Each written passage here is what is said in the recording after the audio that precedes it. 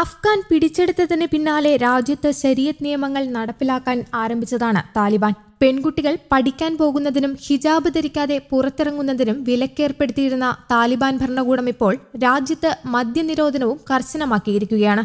കാലങ്ങളായി സൂക്ഷിച്ചിരുന്ന മൂവായിരം ലിറ്റർ മദ്യമാണ് ഇവർ കനാലിൽ ഒഴുക്കിക്കളഞ്ഞത്. ജനറൽ ഡയറക്ടറേറ്റ് ഓഫ് ഇന്റലിജൻസ് ഇതിന്റെ വീഡിയോയും പുറത്തുവിട്ടിട്ടുണ്ട്. മുസ്ലിങ്ങൾ മദ്യം നിർമ്മിക്കാനോ വിതരണം ചെയ്യാനോ പാടില്ല. എന്നാൽ ഈ നിയമങ്ങൾ ലംഘിച്ച് മദ്യവിൽപ്പന നടത്തിയ മൂന്ന് പേരെ കാർട്ടിച്ചാറിൽ നിന്ന് അറസ്റ്റ് ചെയ്തു. മദ്യം കാബൂളിൽ കനാലിൽ ഒഴുക്കിക്കളഞ്ഞതായും അധികൃതർ പറയുന്നു. ആറ് ബാരലുകളായി സൂക്ഷിച്ചു വെച്ചിരുന്ന മദ്യമാണ് ഒഴുക്കിക്കളഞ്ഞത്. മദ്യനിർമ്മാണവും വിൽപ്പനയും ഉപയോഗവും അഫ്ഗാനിൽ നേരത്തെ നിരോധിച്ചിട്ടുണ്ടെങ്കിലും താലിബാൻ ഭരണകൂടം ഇവർക്കെതിരെ ശക്തമായ നടപടികളാണ് സ്വീകരിച്ചിരുന്നത്. യു എസ് സൈന്യം പിന്മാറിയതിനു ശേഷം അഫ്ഗാൻ പിടിച്ചെടുത്ത താലിബാൻ വിവിധ ഇടങ്ങളിലായി റെയ്ഡും പരിശോധനയും നടത്തിവരികയാണ്. കുറ്റം ചെയ്തവരുടെ തല പൊതുസ്ഥലത്ത് വെച്ച് വെട്ടിമാറ്റാനും ഇവർ മടിക്കുന്നില്ല. News desk Kerala Kaumudi.